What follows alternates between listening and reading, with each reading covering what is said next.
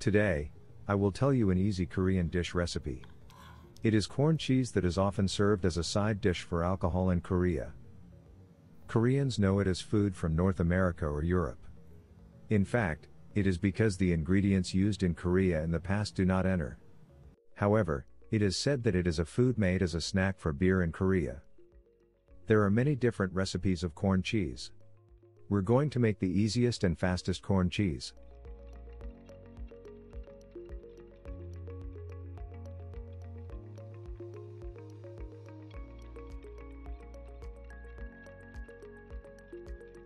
Preheat the frying pan. Reduce heat to low and add 2 tablespoons of butter and melt. When the butter melts, add only the kernels of canned corn.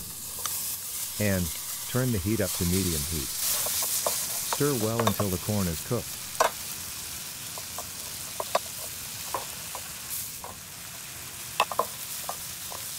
When the corn is cooked,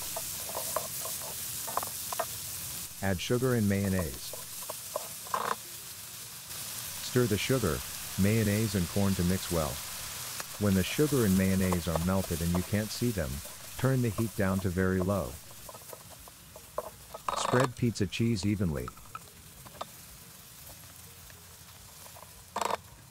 Cover and cook. When the pizza cheese melts, it's done. It is good to eat with other food, and it is also good as a snack with beer or wine. This recipe is the easiest version. I will upload Korean food recipes that are easy to follow and easy to find ingredients.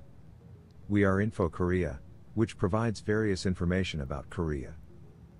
Please subscribe, like, and turn on notifications.